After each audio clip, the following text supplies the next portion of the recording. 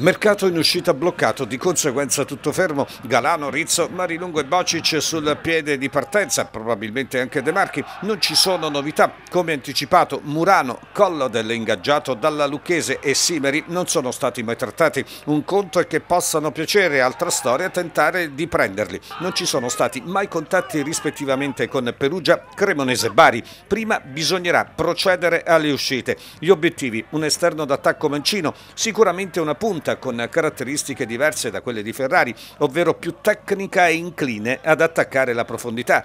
Ma vale davvero la pena creare la competizione con un giocatore appunto Ferrari che finora ha segnato 8 gol trovando per inciso la maglia da titolare solo alla nona giornata? La domanda c'è tutta, staremo naturalmente a vedere. Il pallone intanto riprenderà a rotolare. Dopo un mese di stop la matricola Montevarchi all'Adriatico Giovanni Cornacchia. Toscani alle prese con 4 casi di Covid, benché Azzurri i primi degli squalificati Pompetti e Janes. Scontato il debutto di Carlo De Risio. Al suo fianco uno tra Memuscia, il favorito, e Giambo. In difesa assai probabile il ritorno tra i titolari di Ingrosso, Drudi e Veroli a completare il reparto. Sulle fasce Cancellotti in vantaggio su Zappella, a sinistra Auteri potrebbe rilanciare in zita. Davanti Clemenza e Dursi a supporto di Ferrari.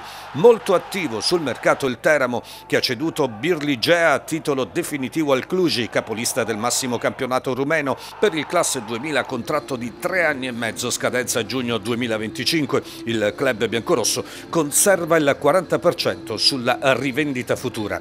In entrata già ufficializzati il centrocampista Forgione dal Fiuggi, dal Piacenza alla Mezzala De Grazia, un ritorno all'esperto difensore centrale Roberto Codromaz, il laterale mancino Mordini dalla Fermana. E l'attaccante Filippo D'Andrea, ex Seregno e Foggia, in prestito dalla Salernitana, oltre a Birligea già ratificate le uscite di Chiare Matenga alla Fermana, Rillo al Piacenza, Piacentini al Modena, il baby Jacopo Surricchio, classe 2006 in prestito con diritto di riscatto alla Roma e l'attaccante di Dio, arrivato in estate in prestito dal Bologna al Picerno, club del Girone C.